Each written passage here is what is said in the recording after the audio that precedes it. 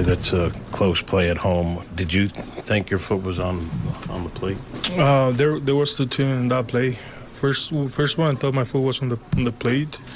The second one was that I tagged him, but they never saw it. So I asked the umpire if he saw the tag, and the tag was there right before, way way, way before um, he touches home plate. He said he never saw it, and apparently uh, we didn't have time to challenge. So when this was going on, For me, for me, it was out anyways because I mean I was a tough, tough flip, but I adjust myself and to tag him. I know it was like a tough throw, and that's why I tagged him. And he was almost like two, two feet, like yeah, two step or three step from from home plate. so and he, the umpire said he didn't see the tag. No, he said uh, he said he never saw the tag.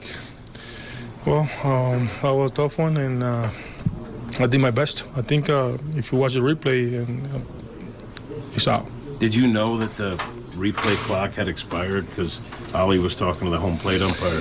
Did you know what was going on at that point? I was I was talking to the home home, uh, home plate umpire, and uh, I mean the the clock is tough because there's some kind of different, and, and, and everybody is different. Here is super quick.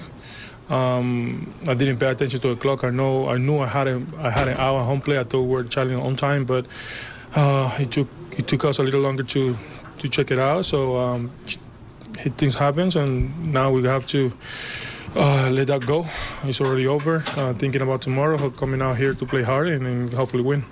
Willson, does it feel like the team's trying to get traction a little bit, like, like just the, on this road trip? Yes, I mean I think uh, we haven't found our rhythm uh, defensively and, and, and, and not pitching, and uh, and offensively wise. Um, we're working on it. I know it's uh, um, it's a tough uh, start of the season, but I know that what this team is capable of, and that's, that doesn't worry that doesn't worry me about. I mean, think we're, we're going to be able to to turn it on, and we're going to be good. We're going to have a, a really good season.